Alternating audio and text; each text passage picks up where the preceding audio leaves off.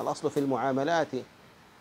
ومنها البيوع وإلى آخره الحل والإباحة حتى يدل الدليل على الحظر والأصل في العبادات الحظر حتى يدل الدليل على